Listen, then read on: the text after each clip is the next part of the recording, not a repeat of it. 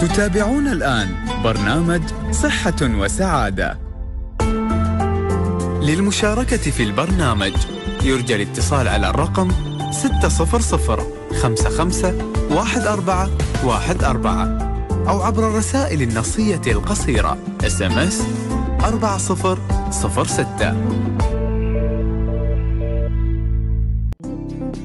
صحة وسعادة. السلام عليكم ورحمة الله وبركاته. صباحكم الله بالخير في هذا اليوم الجميل يوم الأحد اللي يحبه كل أحد. أول يوم في الأسبوع بداية أسبوع جديد ودائما في بداية الأسبوع. لازم الواحد يستقبل يومه بابتسامة وسيعة وقلب صافي وروح إيجابية عالية. وإن شاء الله من بعد مشيئة الله تلاقون الأسبوع يمشي مثل ما تحبون. كله بالتوكل على الله طبعا وحسن الظن بيومنا وبالله وبقدراتنا وبطاقتنا الإيجابية. وإن شاء الله نلاقي يومنا جميل وإيجابي ونعيش دائما بصحة وسعادة. وهذا هو برنامجكم برنامج صحة وسعادة اللي تقدمه لكم هيئة الصحة بدبي بالتعاون مع إذاعتنا المتميزة دائما وأبدا إذاعة نور دبي. في البداية نرحب بالطاقم الموجود معاي في الإخراج أيمن سرحيل. أبو نوح يعطيك ألف عافية. وفي التنسيق ميرا المري ومحدثتكم دكتورة ندى الملا. إن شاء الله نكون معاكم على مدى تقريبا ساعة اللي هو نسولف ندردش آه ناخذ مخاطركم ناخذ ملاحظاتكم آرائكم آه عندكم شكوى عندكم اقتراح. وارد أكد على موضوع الاقتراح. دائما اقتراحات المتعاملين متعاملي هيئة الصحة أو متعاملين لأي منشأة صحية بوجه عام. تكون قيمة جدا. وهذا من واقع خبرتي المتواضعة في التعامل مع المتعاملين. دائما نقول أي خدمة تقدم أو أي منتج يقدم لا وجهتين نظر. وجهة نظر المقدم ووجهة نظر المستقبل. ودائما وجهة نظر المستقبل تكون ترى أوسع من وجهة نظر مقدم الخدمة. نحن ننظر الخدمات الطبية من زاوية معينة. مهما حاولنا نوسع مدارنا لا تزال هي زاوية المقدم. لكن أنت كمستقبل الخدمة يكون عندك أفكار رائعة. ومعظم الأفكار ترى من تعاملي مع متعاملين شفت إن معظم أفكار متعاملين ترى أفكار تكون بسيطة وحتى بعضهم ما تحتاج حتى ميزانيات ضخمة. شيء بسيط تغيير بسيط تحسن رحلة متعامل في العيادات تحسن الخدمات تحسن زمن الانتظار فأشجع الجميع أي حد بيروح لأي منشأة صحية بشكل عام منشآت هيئة الصحة بشكل خاص رحتوا مكان حصلتوا خدمة جميلة اشكروا. لازم نشكر. خلونا كلنا يكون عندنا ثقافة الشكر هذه لنخلق موظفين أسعد وبالتالي متعاملين أسعد. رقم اثنين لقيتوا أي شيء لم ينل عن رضاكم تحدثوا إليهم. يعني روحوا هناك يقولوا والله أنا هذا ما عجبني بغيت أقدم ملاحظة وقدموا اقتراح لتحسين الخدمات. كذي نكون نحن متعاملين فعالين إيجابيين. ما نبغى نكون بس متعامل أنا أدخل أخذ الخدمة وأطلع آه شيء في خاطري ما عجبني والله خلاص ما بقول. شاركوا شاركوا هذا مع مع الإدارات في العيادات والمنشآت الصحية عشان كلنا نتطور مع بعض. طبعا في البداية أذكركم أول شيء بأرقام التواصل عشان يعني تتواصلون معي وتقولون ملاحظاتكم وآرائكم واقتراحاتكم. تتواصلون على 600 والرسائل النصية على 4006 آه راح نبتدي أول شيء بالفقرة التغذية. آه لين تجي فقرة فقرة التغذية آه آه أذكركم بموضوع جدا مهم. ودائما أذكر فيه في صحة وسعادة موضوع المواعيد في قطاع الرعاية الصحية الأولية. مثل ما نعرف أن نظام المواعيد طبقوه في العيادات. بالتالي أي حد حاب يحصل على أي خدمة خليه يتصل بمركز الاتصال على 800 342 ويروح آه وياخذ موعد ويروح قبل الموعد أقل شيء أقل شيء ب 20 دقيقة. بعش قبل ب 20 دقيقة أكون في العيادة نفسها. مو ب 20 دقيقة أدور على الباركينج برا لا. قبل ب 20 دقيقة أكون أنا في العيادة نفسها صدقوني يساعد لتقليل زمن الانتظار يساعدكم الحصول على خدمة أفضل. ونذكركم أيضا بأخذ تطعيم الإنفلونزا لا نزل في موسم الإنفلونزا لا تطعيم الإنفلونزا بالعادة يبتدي من نهاية شهر تسعة لين شهر واحد أو شهر اثنين. فنشجعكم إنكم بعدكم تاخذون تطعيم الإنفلونزا إذا ما اخذتوه اتصلوا خذوا موعد وروحوا العيادة وخذوا أنتم وعيالكم الأطفال من عمر ستة أشهر. خلوهم ياخذون تطعيم الإنفلونزا يساعد جدا في تعزيز مناعة الطفل وتقليل أعراض الإنفلونزا. آه راح نبتدي اولا آه بفقرة ال social media. راح تكون معنا كالعادة زميلتنا الجميلة أسماء الجناحي بتقولنا عن أحدث اهتمامات ال social media وشو جديد ال social media خلال هذه آه، في هذا خلال هذا ال weekend. صباحك ورد يا أسماء. صبحكم الله بالنور. دكتورة عليك وعلى كل مستمعين إذاعة آه، نور دبي. حياك الله. تفضلي. ما زال الجو جميل ونقول حق الناس آه، مثل ما قلتي التطعيم مهم عشان نستمتع بالجو وما آه، نزيد الموضوع على نفسنا. الأمراض. آه، من ضمن الأشياء خلينا ناخذ من الأشياء اللي كانت في التواصل الاجتماعي هي تشارك هيئة الصحة بدبي مبادرتين بيت مثالي وبالبركة ضمن بناة المدينة وهل ال- المبادرة تابع بناة المدينة تابعة الأمانة العامة للمجلس التنفيذي اللي تهدف لتحسين خدمات المشتركة الحكومية في إمارة دبي. طبعا إحنا عندنا مبادرتين آه، المبادرة الأولى اللي هي بيت مثالي تهدف إلى زيادة الوعي لدى المجتمع وتوفير بيئة منزلية مثالية من حيث الأمان والصحة والسعادة. المبادرة الثانية اللي هي مبادرة بالبركة مهم. ونحن فيها مع آه، محاكم دبي وإقامة دبي هي خدمة مشتركة للمقبلين على الزواج يعني حتى الخدمة ممكن تخلي ال- الإجراءات كلها تكون في إجراء واحد بس إنه حتى إن الواحد لما يقبل على الزواج ما يروح من مكان لمكان يخلص كل شيء في مكان واحد. نعم آه، أيضا من من ضمن الأشياء اللي نحن يعني صارت في بين الخميس واليوم اللي هي توقيع وثيقة تعاون مشترك مع مجلس الاعتماد الأمريكي للتعليم الطبي المستمر وهذا يهدف تطوير منظومة التعليم الطبي وتأهيل وآلية الحصول على الاعتماد الأمريكي في هذا المجال طبعا معروف الاعتماد الأمريكي أنه من الاعتمادات القوية مهم. آه، ومن ضمن الأشياء آه، نحن نحب أيضا نقول نحن بدينا في العمل للاستعداد للعام الخمسين آه، وهذا هاشتاج كان top trend على مستوى دولة الإمارات عام الاستعداد الخمسين. واللي يبغى يشارك فيه شاركوا فيه بنفس ال spirit بروح العمل واحد. وخلينا يعني نتعهد إن نحن راح نقدم الأفضل ونتميز في يوبيلنا الذهبي. صحيح. وأيضا آه، نختمها برسالتنا الصباحية اللي حطتها هيئة الصحة بدبي. صباحكم عام الاستعداد للخمسين. لنعمل معا ضمن فريق واحد وبروح واحدة كما قال صاحب السمو الشيخ محمد بن راشد آل مكتوم رعاه الله طريقنا واحد وروحنا واحدة ومستقبلنا واحد بإذن الله. بإذن الله. ودمتم بصحة وسعادة. شكرا لك يا أسماء ودمتي بصحة وسعادة. وفعلا آه، تم الإعلان عن أن عام 2020 بيكون عام الاستعداد لوثيقة الخمسين. آه هذا دورنا الحين. نحن كلنا نعمل. لا حد يقول والله أنا وظيفتي صغيرة أو أنا ما أعمل فوين دوري؟ خلينا نقرأ جميعا هذه الوثيقة وشو شيوخنا وصوا عليه. وكلنا نعمل كفريق واحد بروح واحدة. الهدف منها آه تطوير الإمارات الوصول إلى الأهداف اللي حاطينها شيوخنا. الله يطول في أعمارهم. وإن شاء الله جميعا نصل إلى آه الأهداف المنشودة. طبعا حنعمل للأجيال القادمة. طبعا إن شاء الله آه بعد 50 سنة إن شاء الله بكون موجودة. طبعا أنا عمري الحين بعد كم عمري؟ 15 20 سنة. فإن شاء الله بكون موجودة بقول لكم شو تحقق وشو ما تحقق منها إن شاء الله. راح نروح للدراسة.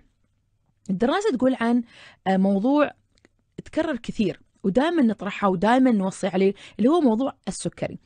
أظهرت دراسة. آه، أظهرت نتائج دراسة جديدة أن ارتفاع السكر المتكرر يسرع من تدهور القدرات المعرفية بسبب عدم قدرة الخلايا على امتصاص الجلوكوز نتيجة ضعف إنتاج الأنسولين آه، ارتفاع السكر المتكرر معناه الإنسان اللي يكون عنده السكري والسكري ما يكون منتظم وتلاقون في عنده ارتفاعات في السكر الدراسة هذه دعت آه، مرضى السكر إلى مراقبة نسبة السكر بالدم جيدا لأن عدم ضبط السكر يؤدي إلى تلف بعض خلايا الدماغ.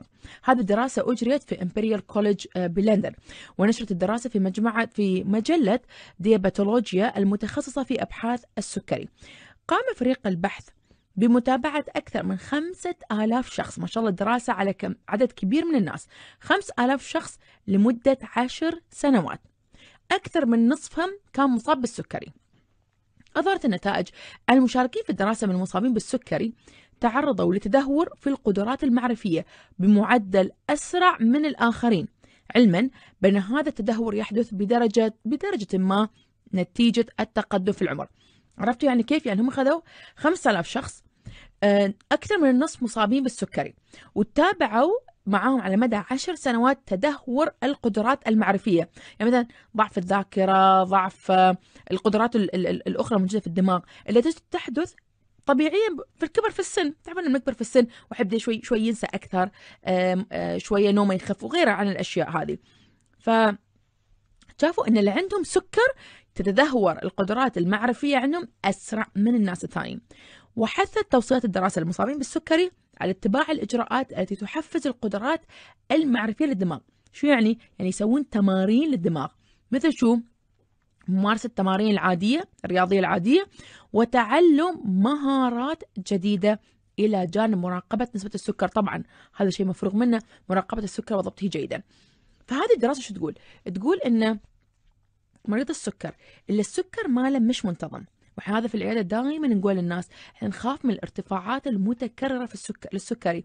خصوصا الارتفاعات اللي تكون خلال النوم لما الواحد ينش أول الصبح ويقيس السكر وهو صايم ويكتشف إن السكر عنده جدا عالي هذا إحنا وايد نخاف منه لأنه ممكن الإنسان يروح آه، في مضاعفات للسكري جلطات غيبوبة أو غيره وهو نايم. طبعا ما يحس بارتفاع السكر وهو نايم. فالدراسة تقول بعد هذه الارتفاعات تساعد في تدهور القدرات المعرفية. يعني عقل الإنسان يستوي أقل قدرة من عقل الإنسان العادي مع أن الدراسة شوف سووها على عشر سنوات والتغير التدريجي في القدرات المعرفية اللي يستوي على مدى الزمن لما إحنا نكبر في السن أبطأ من اللي عند مريض السكري. آه، واحدة من الحيل المهمة عشان نحافظ على قدرات دماغنا آه، الذاكرة المعرفة أو غيرها. طبعا ممارسة تمارين رياضية الرياضة تفيد العقل دائما على الرياضة التمارين العادية الرياضية وتعلم مهارات جديدة. في وايد دراسات طلعت انه لازم نسوي تمارين عقلية نفس ما نسوي تمارين بدنية. كيف تمارين عقلية؟ حتى هذا طلعت طلعت الدراسة هاي حق الناس اللي باركنسون زهايمر قالوا عشان نقلل خطر الإصابة أو نؤخر لازم الإنسان يخلي مخه نشيط. خصوصا بعد التقاعد بأنه يشغل مخه بمهارات جديدة أو يتعلم لغات جديدة. شو يعني مهارات جديدة؟ مثلا حل الكلمات المتقاطعة. هذه تش- تشحذ الدماغ بشكل كبير. لما واحد يتم يفكر يفكر يفكر كيف شو شو الكلمة اللي هني اللي تتقاطع مع الكلمة الثانية هاي جدا مهمة. تعلم مهارة جديدة. آه، أذكر در- قريت دراسة من زمان تعلم الحياكة أو الخياطة الكروشيه والتريكو وغيره وغيره هذه أيضا تساعد الدماغ لأن فيها دقة شوية. واحد تعرفون لازم يحسب يعني يتم يعد قبل ما يحط الغرزة الثانية. فهي مهارة جديدة. تعلم لغات جديدة تعلم اللغات توسع آفاق الدماغ وتخلي الدماغ دائما نشيط خصوصا لما تتعلم اللغة. بعدين مثلا تركب السيارة تشغل تشغل قناة تتكلم هذيك اللغة تقرأ كتاب بهذيك اللغة تقابل ناس يتكلمون هذه اللغة فتخلي مخك دائما نشيط. فخلونا دائما نقوم بتمارين عقلية نفس التمارين الرياضية عشان نحافظ على صحة دماغ أفضل. رح نطلع إن شاء الله الحين فاصل بعد الفاصل رح نواصل برنامج صحة وسعادة. صحة وسعادة.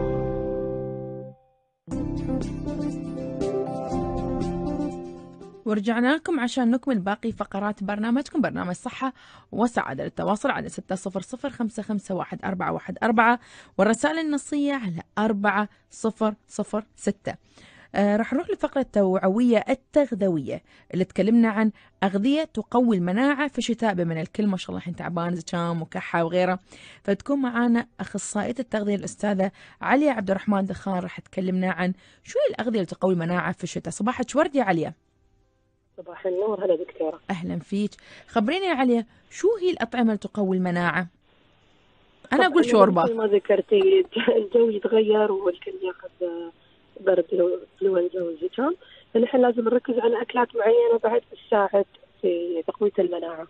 آه، في البداية بتكلم عن العناصر اللي هي آه، الغذائية اللي تحسن المناعة وين ممكن نحصلها. فعندنا أول شيء وأهم شيء الفيتامين سي.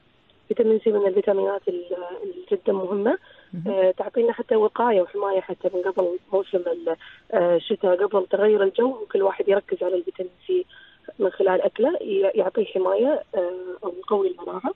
عندنا الفيتامين B 6 كذلك من الفيتامينات اللي تحسن آه، جهاز المناعي. آه، عندنا بعد فيتامين E لأنه مضاد أكسدة قوي والأوميجا 3 اللي هي الدهون الصحية اللي في الاوميجا 3 بعد من الدهون اللي تحسن جهاز المناعة. هالأربع عناصر إحنا بنقدر نحصلها في الفواكه في الخضروات في أمثلة كثيرة من الأكلات نبتدي في ال- الفيتامين سي. طبعا عندنا في الحمضيات أهم شيء وأعلى نسبة بالفيتامين سي بتكون في الجريب فروت في البرتقال في الليمون في الفراولة في البابايا في الكيوي. ففي فواكه جدا مختلفة آه، تكون في نسب ال- الفيتامين سي آه، عالية. آه، عندنا حتى الفلفل ال- الحلو الفلفل الأحمر مهم. خاصة لأن في مادة ال- البيتا كاروتين وفي الفيتامين سي. فهالشيئين بعد يساعدون في تعزيز جهاز المناعي عندنا من الخضروات البروكلي. البروكلي يحتوي على الفيتامين سي وال A وال E يعني هي أكثر عن مصدر من آه، من مصادر الفيتامينات اللي تساعد على تقوية المناعة. فمضاد أكسدة عالي مصدر ألياف عالي فجدا مهم إن إحنا ندخل البروكلي. مثل ما قلتي الشوربة ممكن نحط شوربه بروكلي وممكن ندخل فيها بعد آه، عنصر ثاني اللي هو الثوم آه، لأنه مضاد للالتهابات بشكل عام. فبعد حلو نركز عليها هاي الفترة. الطبخ أو في ال- نضيفها في كإضافة في الأكل. آه، عندنا من ال- الخضروات الثانية اللي هي السبانخ أيضا مرتفعة بمضادات الأكسدة والفيتامين سي. آه، عندنا ال- ال- الأعشاب أو أو البهارات مثلا اللي هي مثل الزنجبيل. آه، عندنا الكركم كلها تعتبر مضادات للالتهابات. آه، فتعطينا فتعزز من جهاز المناعة. خاصة اللي عندهم التهابات يعني مثلا في الحلج والاحتقان هالأمور. آه، شراب الزنجبيل بعد يساعد على آه، تهدئة ال- ال- اعراض الالتهابات عندنا بعد آه، مثل ما ذكرنا الاوميجا 3 فطبعا بيكون مثال للاوميجا 3 اللي هي المكسرات مثل اللوز والجوز. يكون فيها نسب الفيتامين سي وفيتامين إي في نفس الوقت. عندنا الشاي الأخضر. أيضا هو يعتبر من مضادات الأكسدة القوية. فبالتالي تساعد آه، على جهاز المناعة يكون أقوى. وبعد فيها ال- ال- المواد اللي هي ال flavonoids بعد هي مضادات أكسدة. آه، غير عن هذه الأكلات نحاول طبعا نركز على آه، شرب الماء بشكل آه، كميات كافية لأن كثرة شرب الماء بعد تساعد على تقليل يعني فترة الزكام وال- وال- والأمراض هذه آه، شرب الماء جدا مهم. آه، فنركز على الإكثار من شرب الماء آه، في هاي الفترة. آه، النوم ساعات كافية. في ناس ما تحط في بالها ان أن النوم ما يأثر على الصحة بالعكس النوم وايد يأثر على وايد أمراض متعلقة بالمناعة. فالنوم ساعات كافية وايد مهم للكبار والصغار آه، الرياضة الخفيفة والمشي البسيط اليومي نص ساعه هذا بعد يعطي بوست أو يعطي قوة لجهازنا المناعي. مو بالضرورة الريا- الرياضة تكون يعني شديدة فقط مشي نص ساعه هذا يعني كفيل إنه يحسن عندنا الجهاز المناعي. ممتاز. آه، فهذه النبذة عن الأغذية اللي تعزز المناعة. آه، تفضلين ياخذونها من من مصادر الطبيعية أو ياخذونها كمكملات غذائية؟ هو طبعا نحاول ندخل صنف أو أو اثنين أو ثلاث يوميا من هاي الأكلات. صعبة وايد نوع من الخضار نوع من الفواكه. آه مثلا ندخل مشروب الشتاء اللي هو زنجبيل مع شوية كركم مع عسل كلها أمور تحسن المناعة. فيعني لو ندخل هاي المشروبات مثلا يوم ويوم مو شرط يوميا. آه بناخذ ك- كفايتنا من الفيتامين سي. مثلا الفيتامين سي للشخص الكبير حوالي ما يتعدى ال ال 100 ملي جرام يعني بين ال 75 و 95 الاحتياج الجسم مو جدا كبير آه بس آه ال- الدراسات توصي عشان تعطينا كحمايه ان ناخذ لل 500 ملي جرام. ممتاز. 500 ملي جرام ممكن نركز عليها يعني من خلال الأكل وممكن نستعين بالفوارة أو الفيتامين سي في بعض الأيام ما يمنع. لكن نحاول نشمل ال- الأكلات هذه والمشروبات آه طبيعية خلال فترة الشتاء أو اي وقت ثاني آه لتحسين آه الجهاز المناعي. ممتاز. آه شكرا لك أستاذة عليا عبد الرحمن دخان. هذه الفقر هذه مداخلة بخصوص الأغذية اللي تقوي المناعة في الشتاء. شكرا لك نهارك سعيد. العفو والسلام. شكرا. من الأستاذة عليا راح ننتقل. إلى آه، الدكتور حسن الياسين أخصائي أمراض الدم للبالغين في مستشفى دبي اللي بيكلمنا عن خدمات قسم أمراض الدم في مستشفى دبي. صباحك ورد دكتور حسن. صباح النور. أهلا وسهلا. أهلا فيك. حياك الله بصحة وسعادة. الله يحييكم إن شاء الله. آه، دكتور حسن بداية نعطي فكرة عامة. شو هي أمراض الدم؟ شو أنواعها؟ وشو الفئات العمرية؟ أمراض الدم طبعا هي الأمراض آه، اللي تصيب جهاز الدم. آه، الدم يعتبر حقيقة عضو وعضو مهم جدا آه، داخل منظومة الجسم الفسيولوجية. والأمراض اللي تصيب الدم هي أمراض آه، غير سرطانية وأمراض سرطانية يعني أمراض حميدة وأمراض سرطانية عموما. وطبعا تنقسم آه، في أمراض خاصة بالأطفال وأمراض خاصة بالبالغين وفي أمراض مشتركة بين فئة الأطفال وفئة البالغين. فهذا موجز يعني عن أمراض الدم، أمثلة مثلا على أمراض الدم غير السرطانية أو أمراض الدم الحم- الحميدة. فقر الدم بكل أنواعه، طبعا يعتبر حميد غير سرطاني. وفقر الدم إلى أسباب متعددة وكثيرة، أكثرها شيوعا هو فقر الدم الناتج عن نقص الحديد. آه، وهناك أنواع أخرى من فقر الدم، آه، مثال آخر على أمراض الدم غير السرطانية تكسر الدم المناعي وتكسر الصفائح المناعي. آه، كل هذه أمراض مناعية وليست سرطانية وتصيب الدم أيضا. آه، هناك بعض الأمراض الوراثية بالدم وهذه تظهر عند الأطفال أكثر وقد تمتد إلى الفئة العمرية البالغة أيضا. أمثلة على الأمراض السرطانية طبعا المثال الشائع المشهور المعروف لدى كل الناس هو آه، يعني آه، الله يبعد عن الناس جميعا اللي هو اللوكيميا نعم. اللوكيميا اللي هو سرطان الدم وسرطان الدم ممكن أن يكون حاد وممكن أن يكون مزمن. آه، وهناك أنواع كثيرة آه، لسرطان يعني لللوكيميا. وطبعا في سرطانات الغدد الليمفاوية في سرطانات خاصة بنقاع العظم. ف يعني القائمة طويلة الحقيقة بس آه، عموما هناك أمراض غير سرطانية وأمراض سرطانية والأمثلة كثيرة على على الجانبين. ممتاز. آه، دكتور حسن نتكلم عن شو الخدمات اللي تقدمونها في قسم أمراض الدم للبالغين بمستشفى دبي؟ وهناك قسم منفصل للأطفال؟ آه، نعم هناك قسم منخف منفصل للأطفال. يعني هناك قسم خاص بأمراض الدم للأطفال وقسم خاص بأمراض الدم للبالغين. في قسم أمراض الدم الخاص بالبالغين طبعا آه، نقدم خدمات للمرضى الراقدين في المستشفى نعم وخدمات للمرضى الخارجيين يعني ال outpatient وتنقسم آه، خدمات المرضى الخارجيين إلى خدمات العيادة الخارجية وخدمات آه، شعبة العلاج الوريدي وخدمات الووك إن يعني المرضى اللي هم يجون بشكل آه، يومي. آه، هاي كلها خدمات خارجية وطبعا هناك قسم آه، متكامل للمرضى الراقدين. الخدمات طبعا عموما آه، تبدأ بتشخيص المرض وهناك الحمد لله وسائل تشخيصية متكاملة في قسم أمراض الدم تبدأ من آه، أمراض الدم يعني آه، تحاليل الدم العامة بكافة أنواعها آه، ومن ثم التحليل الخاص ب يعني بينا كاخت- كاختصاص أمراض الدم اللي هو فحص نخاع العظم. فحص نخاع العظم طبعا يتطلب أخذ عينة من نخاع العظم وإخضاع هذه العينة للفحص الميكروسكوبي وفحوصات أخرى كثيرة يعني تشمل فحوصات جينية وكروموسومية. اللي هي تتعلق بتشخيص المرض ومدى استجابته ومستقبل المرض أيضا. وعلى أساس الصورة الكلية للتشخيص يتحدد البروتوكول العلاجي، تتحدد الخطة العلاجية. مهم. آه، فبعد التشخيص طبعا وكل وسائل التشخيص المتوفرة في آه، قسم أمراض الدم يبدأ العلاج. العلاج طبعا آه، يحدد على أساس التشخيص، كل. تشخيص له خطة علاجية خاصة به. والعلاج يعني عموما عموما يتألف من علاج كيميائي ومصحوب بعلاج مناعي أيضا. نعم فإذا علاج كيميائي ومناعي والحمد لله آه، فق- الفقرات العلاجية كلها آه، متوفرة في آه، يعني في هيئة صحه دبي وفي قسم أمراض الدم. آه، ومن ثم طبعا بعد خروج المريض تتم متابعة المريض، متابعة المريض تكون في العيادة الخارجية وإذا ما احتاج المريض إلى نقل دم أو خدمات خاصة معينة تتطلب زرق وريدي يعني اعطاء علاج عن طريق الوريد فهناك قسم خاص والحمد لله هذا قسم العلاج الوريدي.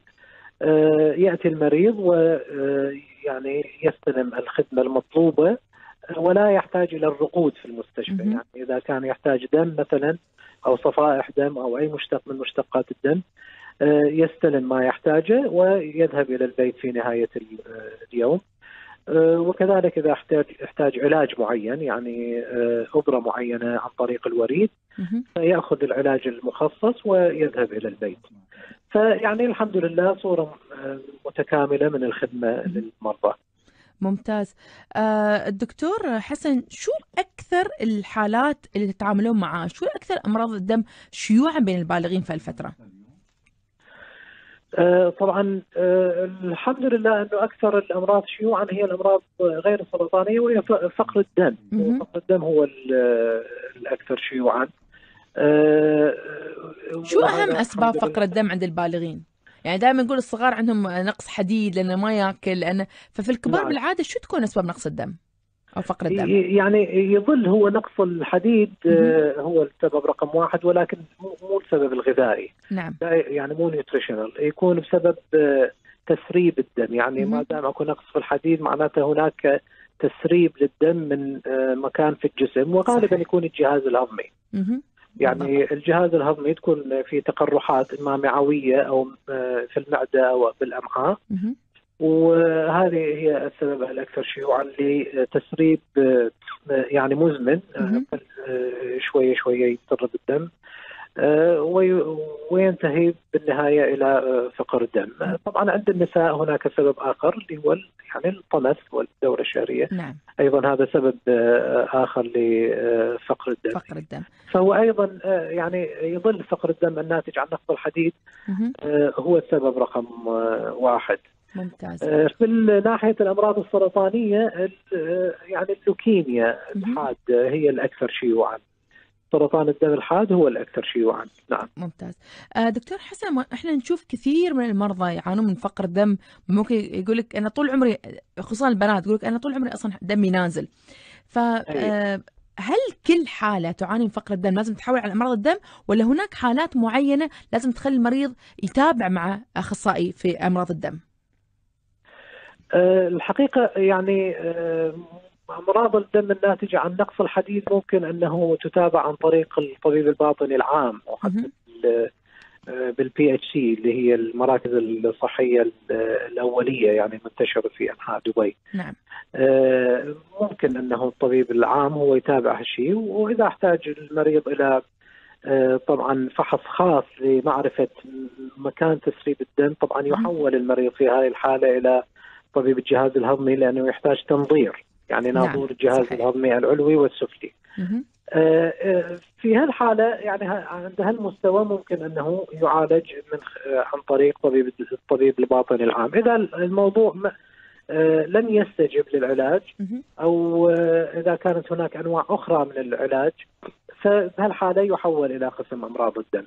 مثل ما قلنا يعني أمراض فقر الدم ليست فقط بسبب نقص الحديد هناك أنواع أخرى ممكن آه، فقر الدم المناعي اللي هو ناتج عن آه، مهاجمة كريات الدم الحمراء من قبل جهاز المناعة بالجسم آه، ويسبب ذلك تكسر في كريات الدم الحمراء وبالتالي فقر دم.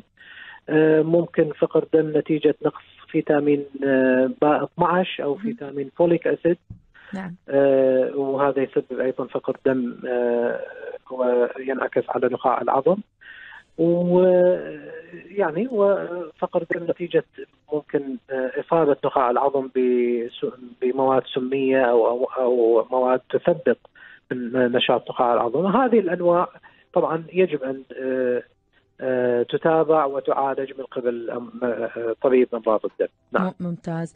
آه شكرا لك دكتور حسن الياسين أخصائي أمراض الدم للبالغين بمستشفى دبي.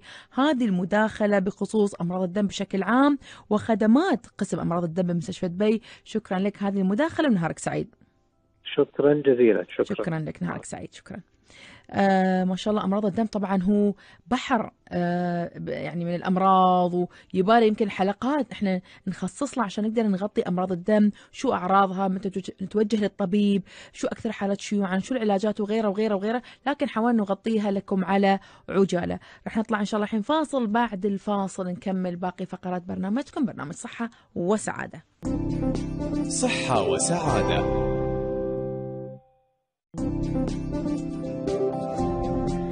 ورجعنا لكم عشان نكمل باقي فقرات برنامجكم برنامج صحة وسعادة. التواصل على ستة صفر صفر خمسة خمسة واحد أربعة واحد أربعة والرسائل النصية على أربعة صفر صفر ستة. يقدم مركز دبي للأمراض الجلدية التابع لهيئة الصحة بدبي العديد من الخدمات التخصصية المتميزة التي تلبي احتياجات المرضى من مختلف الفئات العمرية ويتم تقديمها وفقا لأفضل البروتوكولات والممارسة الطبية في هذا المجال. بنتكلم عن مركز دبي للأمراض الجلدية. بتكون معنا عن طريق الهاتف الدكتورة فاطمة خليفة الحضري أخصائي أول أمراض جلدية بمركز دبي للأمراض الجلدية. صباحك ورد دكتورة فاطمة. أهلين صباح النور. حياك الله بصحة وسعادة. الله يسلمك يا رب. آه نتكلم دكتورة فاطمة في البداية عن شو الخدمات اللي يقدمها مركز دبي للأمراض الجلدية للمرضى بشكل عام؟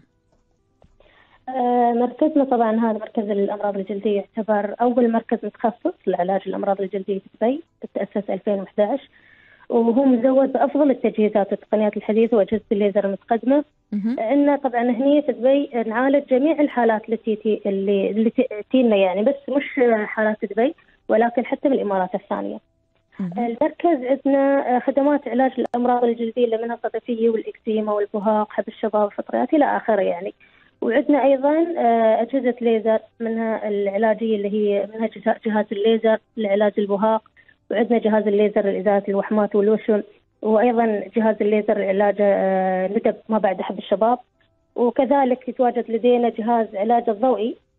وعلاج الكي بالتبريد والعلاج البيولوجي الحديث لح- لحالات الصدفية والإكزيما ومرض الغدد العرقيه التقيحي. وهكذا يعني وطبعا موجود عندنا آه، يعني شيء لازم ما ننساه الخدمة اللي نوفرها إن عندنا طبيب موجود مناوب 24 ساعة لعلاج الحالات الطارئة وكذلك يقوم ال- المركز بحملات توعية للمجتمع عن بعض الأمراض المزمنة اللي هي منها الصدفيه والاكزيما كان عنده قبل شهر وشهرين آه، بعض هذه الحملات. ممتاز. آه، دكتورة فاطمة آه، الحين مع دخول موسم الشتاء. بنلاحظ ما شاء الله تنتشر أمراض معينة. كل موسم لأمراض معينة. شو أكثر الأمراض اللي تنتشر الجلدية اللي تنتشر في فصل الشتاء؟ أكثر الأمراض اللي نشوفها في العيادة عندنا آه، الإكزيما مهم. بمختلف طبعا الأعمار آه، الفئات العمرية عندنا صدفية تزيد شوي في في الشتاء آه، في وتكرامة فطريات القدم. تزيد لأن اللحذية تعرفين تكون مغلقة والواحد ما يتفيق ينشف بين الأصابع وكذلك مهم. آه، هاي أكثر الأمراض اللي تزيد عندنا في الشتاء بالإضافة إحنا نشوف في العيادة كل الأمراض المزمنة الأخرى على مدار السنة ممتاز يعني بس هذه أكثر الأمراض اللي نشوفها في الشتاء ممتاز. آه، دكتورة فاطمة آه، ليش نشوف ما شاء الله حالات الإكزيما عندنا كثيرة خصوصا بين الأطفال؟ وطبعا أكيد يزيد في الشتاء. آه، شو أسباب هالإكزيما؟ شو العلاجات؟ ما شاء الله في مجال الإكزيما ترى بعد وايد في إفتاءات. الأمهات تيجي العيادة عندها إفتاءات غريبة عجيبة لا تحط مايونيز ولا. تحط يعني أشياء عجيبة أول مرة أسمعها. فشو سبب كثر يعني انتشار الإكزيما؟ وشو آه، أبرز الأشياء الأفكار الخاطئة عند الناس بخصوص الإكزيما؟ okay هي الإكزيما آه، مرض ممكن طبعا يكون موجود منذ الطفولة يعني من. الواحد عمره شهرين ثلاثة شهور ممكن تبتدي فيه okay وهاي تكون آه، شبه وراثية يعني. آه، الجسم الشخص يكون له قابلية إنه يصير فيها الامراض هاي تكون اللي يسمونها ال atopic dermatitis. وعندنا أنواع ثانية من الإكزيما اللي هي تستوي نتيجة الجفاف أو استخدام المواد مثلا ال- ال- الكيماوية المعطرات العطور الص- الصابون الأشياء هذه ساعات تكون في الإيد ساعات تكون في الجسم عموما. نعم. هي آه، أفضل شيء طبعا لها العلاجات. أول شيء إحنا نقول للمريض لازم تحط مرطبات لأن هي تستوي نتيجة الجفاف الشديد. الطبقة الدهنية اللي أصلا موجودة المفروض على معظم آه، أماكن الجسم. في حالات الإكزيما تكون يا مفقودة يا تكون قليلة عن الطبيعي. وهذا اللي يخلي المريض يتحشش. وأكثر يعني أول شيء يحس فيه الطفل توه هو بعد أصلا ما عنده إحساس الحكه ولكن أكثر شيء يحس فيه الألم. مهم. تلاقينه يحك أماكن الجافة عنده. وهذا الشيء من كثر الحكه طبعا يجرح المكان وتدخل البكتيريا ممكن يسوي لنا التهابات بكتيرية بكتيرية هك- آه، يعني أماكن الأكزيما. فإحنا دائما ننصح الأهل آه، دائما تحطوا له مرطب لا تخلون البشرة تجف.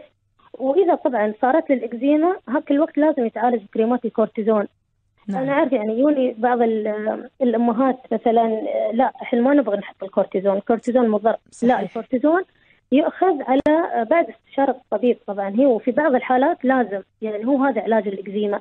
لازم نحط الكورتيزون في بعض الأماكن. ممكن نحط الكورتيزون معاه مضاد حيوي وفي كورتيزونات معاها مضاد للفطريات في بعض الأماكن في الجسم ممكن تنحط. ولكن هذه العلاجات. بالنسبة للإكزيما الشديدة اللي طبعا ما تتحسن بالكريمات ولا بالأدوية ونكون جربنا وياها وايد علاجات حتى ممكن العلاج العلاج الضوئي. ساعتها نلجأ إلى الإبر البيولوجية اللي هي الحين اسمها Dupixent جديدة طالعة. نعم. آه، قبل كانت للكبار ولكن الحين recently يعني بدينا حتى نقدر نعطيها للأ- للأطفال. فهذه جدا مفيدة يعني ونشوف ما شاء الله نتائجها وايد حلوة. آه، دكتورة فاطمة كلمينا أكثر عن هذه الإبر بما أنه هو موضوع ساخن الأمهات وإحنا موسم ف- آه، خبرينا عن الإبر شو فائدتها؟ كم جرعتها؟ شو النتائج المرجوة تكون منها لما تنعطى للأطفال أو للكبار؟ تدرين نحن ما نعطيها لأي حد.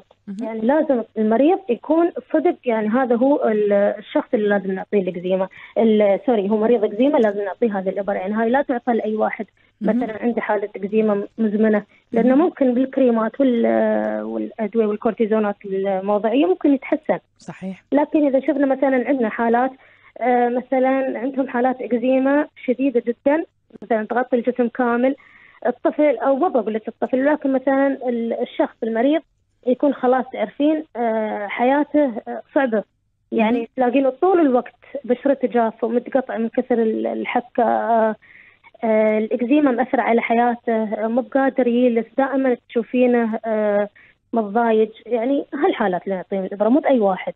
يعني إذا كانت صدق صدق ما لها أي علاجات موضعية ساعتها نلجأ للإبر وهاي العلاجات بالإبر هاي يسمونها علاجات بيولوجية. طبعا حاليا هذه أيدد العلاجات العلاجات الموجودة للصدفية والإكزيما.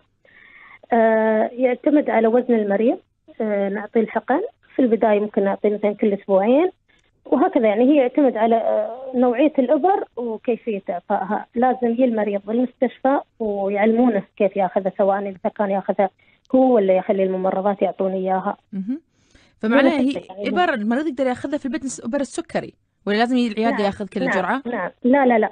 في بعض الأم... الإبر البيولوجية ممكن المريض بروحه ياخذها. نحن هنا الممرضات يعلمونه كيف ياخذها. يعني هاي طبعا أنا نتكلم البيولوجية مش فقط الإكزيما سواء. كانت إكزيما ولا صدفية لأنه هذه أحدث العلاجات الموجودة حاليا لهالمرضين ممتاز. آه، نعم. ال- المواضيع ال- المهمة أيضا دكتورة فاطمة اللي خصوصا يتكرر عندنا في العيادات موضوع القشرة. وطبعا نعم. القشرة بعد نفس الإكزيما وايد فيها إفتاءات. وايد ناس تستخدم إيه. لها أشياء شامبو مايونيز. هذا المايونيز حطوه على كل مكان. من في قالوا حطوا مايونيز؟ ما أدري ليش. على الحرق مايونيز على الإكزيما مايونيز على القشرة مايونيز. هذا الغش المايونيز الحمد لله ما يأكلونه يعني عشان السعرات الحرارية يستخدمون في شيء ثاني ما السحري كل شيء حطوا كل ما قلنا الأمهات قالوا مايونيز. فهالقشرة نفهم الناس شو هي القشرة أصلا؟ آه وشو فعلا العلاجات الم- المعتمدة وأنا أتوقع أن القشرة يمكن ما لها علاج مثل ما يقولون فتاك يعني علاج نهائي يمكن. فشو شو ال- نفهمهم أكثر شيء كيف القشرة تكون شو كيف كيف تتكون القشرة وشو العلاجات المتاحة لها. okay بالنسبة للقشرة إذا تتكلمين عن القشرة اللي في الرأس نعم. في منها طبعا أنواع. في عندنا المرض اللي يسمونه مرض الإكزيما الدهنية. مهم. okay؟ هاي آه، تلاقين ال- القشور اللي على الراس تحسينها لزجة شي دهنية وساعات يكون لونها أصفر. نعم. والبشره والفروة تكون أصلا دهنيه. آه طبعا يوم تزيد الفروة تتحول للاماكن المتاثره يعني تكون حمراء ومقشرة وساعات المريض من كثر ما يحكها ممكن يجرحها نعم. يطلع منها ماي أو دم. مهم. وفي عندنا القشرة اللي مصاحبة طبعا المرض الصدفيه هاي تكون قشرة بيضاء آه، جافه آه، مثل الصدف يعني لونها شي silvery شوي. نعم هذه بعد تكون مصاحبه المرض الصدفي وعلاجها آه، مع علاج الصدفيه الحين بقول لك إياه. وعندنا القشور ممكن تكون آه، فطريات اللي الواحد ممكن ياخذها من آه، عن الحيوانات تعرفين مثلا الناس اللي عندهم القطط وال pets مهم. هذه اللي في البيت ممكن إذا كان القط مثلا مريض فيه فطريات ممكن الشخص الطفل عادة نشوفها هاي في الأطفال. زين تلاقين قشور على الراس آه، تحسينها شي بقعة مدورة مثلا كلها مغطاية بالقشور والشعر بعد اللي فيها يطيح هالبقعة. هاي تكون هاي علاجها لازم علاج الفطريات طبعا. نعم. وشو بعد؟ وفي طبعا القشرة العادية اللي إحنا نشوفها نتيجة مثلا جفاف كروة الراس. نعم. آه، في ساعات القشرة تستوي نتيجة استخدام بعض المنتجات تعرفين اللي شوي, شوي تكون آه، قوية على فروة الراس فتسوي له تقشير. خفيف.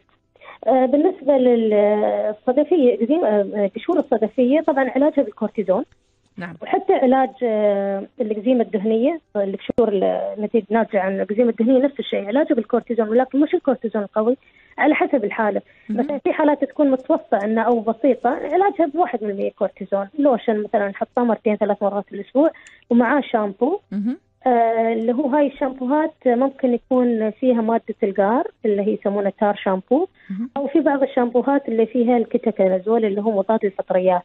نعم. هذه جدا نافعة في هالحالات وفي بعض الحالات يوم تكون شديدة نعطيهم الشامبو اللي فيه مادة الكورتيزون. مهم. okay؟ ينحط على الفروة لمدة ربع ساعة وهي جافة وبعدين ينغسل بالماء. فعلى هالأساس لكن الناس اللي عندهم آه، مج- مجرد القشرة العادية ممكن يستعملون الشامبوهات اللي أصلا مسو- مخصص- مخصصة لعلاج القشور. ما أدري تبغيني أقول أسامي ولا ما؟ لا. آه، ما ما بنقول أسماء brand معين بس بشكل عام. يعني لا تحطوا مايونيز. هي. لا لا لا لا لا. لا يستعملون الشامبوهات أفضل طبعا مثل ما. خبرتك. إذا على حسب الحالة نعطي العلاج. يعني إذا الفروه مو متأثرة مجرد قشور فما في داعي يحطوا الكورتيزون مجرد الشامبوهات تكفي يعني. أكيد. طبعا في نعم. الأول وفي الأخير لازم الشخص يحصل على الطبيب. استشارة من الطبيب. نعم صحيح. لازم يشوف يروح طبيب الأسرة ويتحول على طبيب الجلدية ويعطيه ال... أول شيء شخص تشخيص الصح. ممكن أنت تكون حاط ببالك إن هذه قشرة عادية يطلع فطريات يطلع صدفية. يطلع أي شيء. أنت ما ما عندك القدرة. بالتالي تحط علاج ممكن يخلي الموضوع يسوء أكثر. صدقين آه، يعني في بعض الحالات مثلا يتحرون هاي آه، okay يلا ربيعي حاط ال- الكورتيزون خليني أحط أنا مثله. وتطلع مثلا آه، فطريات وتزيد. نتيجة فطريات وتزيد لأن نعم. الكورتيزون بينقص المناعة. بالضبط. فبالتالي البقعة تزيد تزيد ومشكلة الفطريات اللي تستوي في الراس إنه ممكن تؤدي إلى صلع تام. خلاص المكان البقع يعني البويصلات تموت فيه. فما صحيح يرجع لشعر مرة ثانية فيها. فيعني لازم يستشير من. قشرة من من فطريات وقشرة موضوع بسيط ممكن ينعالج ممكن يتحول إلى صلع تام مثل ما قلتي يعني ويفقد الشعر. البقعة هي البقعة مم. اللي متاثره نعم. صحيح صحيح. شكرا لك دكتورة فاطمة خليفة الحضري أخصائية أول أمراض جلدية بمركز دبي للأمراض الجلدية هالمداخله وطبعا الموضوع يطول لما نتكلم عن خدمات مركز دبي للامراض الجلدية وإن شاء الله يعني ناخذ أكثر من مرة عشان نغطي كل الخدمات. شكرا لك. حياك الله حبيبي شكرا نهارك سعيد. آه طبعا آه هالكلام إحنا يعني قلت حق دكتوره فاطمة هذا حقيقة. يعني الناس لما تجينا العيادات نسمع افتاءات عجيبة في خصوص الأمراض الجلديه خصوصا الأمراض الجلديه وأحس الأمراض الجلديه هذا عبارة عن سوق آه نشط في وسائل التواصل. أنا واحدة من الناس يوم أدخل وسائل التواصل مثل ما يقولون أتصيد مثل هذه الأشياء. ليش؟ لأن آه سبحان الله الناس تسأل أسئلة آه لا علاقة مثلا قشرة أكزيما ايا ك- هالمصطلح العام حساسية؟ أنا عندي حساسية فروه رأسي. أنا عندي حساسية فريلي مصطلح جدا عام. إحنا ما نقدر نشخص أنا كطبيب لو قلت لي أنا عندي حساسية فريلي بقول لك أه- أول شيء بقول صور المكان. شو شكله شو لونه شو حبوبه أي لون الحساسيه هذه حمراء أطرافها بيضة نص أحمر. نسأل كل الأسئلة. بس يصيرون الناس استسهالا يحطون هذا ال post في وسائل التواصل. أنا عندي حساسية في فروة راسي. شو أسوي؟ وتلاقون ال commentات والافتاءات ما شاء الله أشياء عجيبة غريبة. ولا وواحدة تقول لك أنا مجربة واستويت زينة واختي جربت واستوت أحسن وطلع شعر. هذا هذا يعني سوق سوق شو سوق شغال. فإحنا نبغى الناس يا جماعة يكون عندها وعي. لا تسألون أسئلة طبية فيها علاجات في وسائل التواصل. ممكن تسألون والله وين في طبيب؟ هذا أنا أشجع عليه. لأن آه كيف بتعامل الأطباء؟ إلا عن طريق وسائل التواصل. بو ابى آه ابى طبيب للمشكلة الفلانية. ابى طبيب للمرض الفلاني. توجه إلى الأطباء. بس أدور عن علاج؟ هذا شيء خاطئ. وأنا دائما دائما اتصيد مثل هالبوستات. ودائما أرد وأقول يا أختي روحي توجهي للطبيب وخذي استشارة. حتى لو كان موعد شوي بعيد.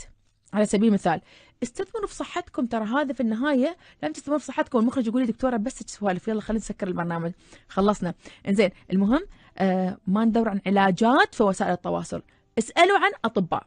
تبون طبيب؟ اسألوا. بس علاج؟ لا ما يستوي نحط علاج. حتى للحساسيه آه وصلنا لختام برنامجنا. برنامج صحة وسعادة. شكرا لك أيمن سرحيل. مع ما خلتني أسولف في النهاية ولكن ما علي وشكرا لك أميرة المري كانت معي في التنسيق وهذه محدثتكم. دكتورة ندى المولى إن شاء الله كنا خفاف عليكم خلال هذه الساعة الإذاعية. إلى أن نلقاكم إن شاء الله. باكر بالحياة بمواضيع جديدة. وشيقة نقول لكم دمتم في صحة وسعادة. صحة وسعادة بالتعاون مع هيئة الصحة بدبي.